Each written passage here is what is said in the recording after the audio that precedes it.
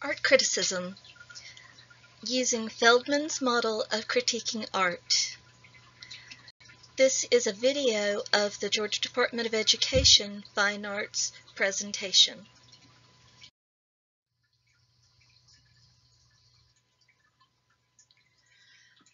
Your job as an art critic is to decode the secret meaning of the artwork.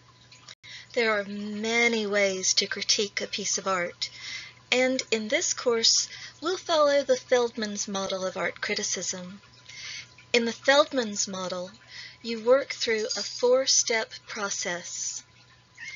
The four-step process is description, analysis, interpretation, and judgment.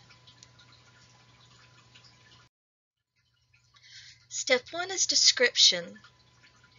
In this stage, you'll only be looking at the facts and not putting any of your own interpretation or bias into the paragraph.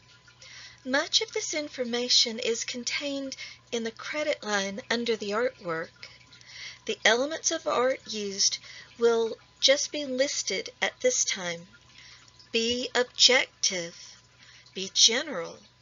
Do not use personal feelings or meanings, just list what you see, such as a person, not a mother, people, not men, general.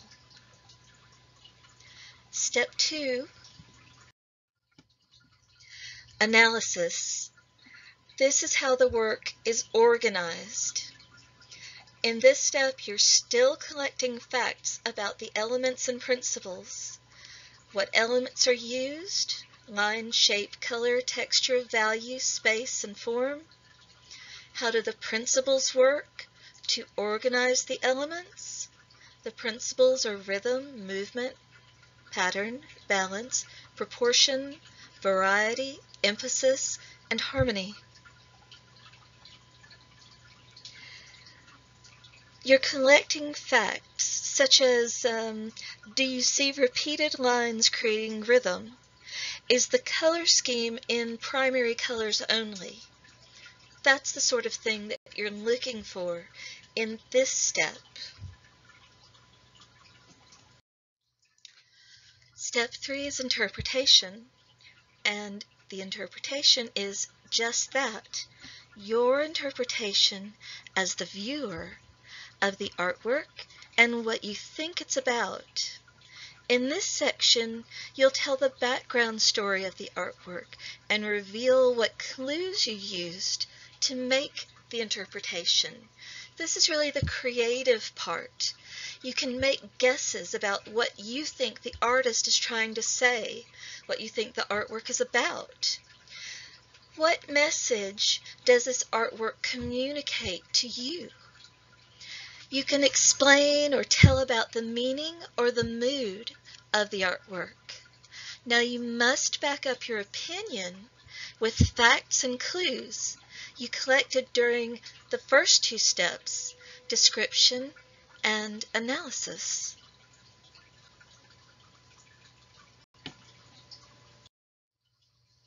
Step four is judgment.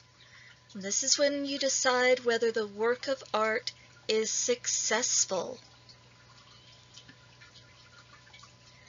Now, you'll also need to say why you do or do not like it.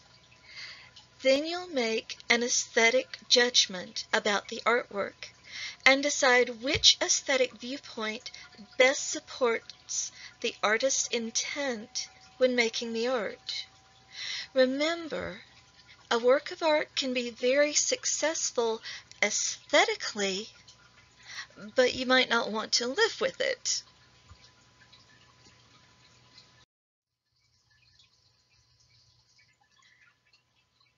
Now it's time for you to complete an art criticism paper of the artwork on the next slide.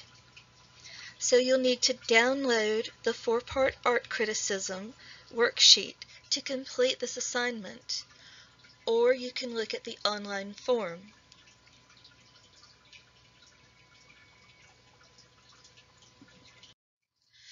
please refer to this painting while you're doing your art criticism.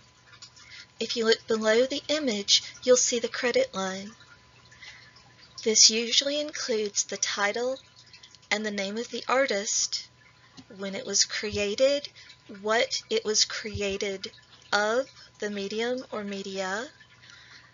Usually it will have the size and also the location of the painting. All right, let's get to our art critiques. Thanks for watching.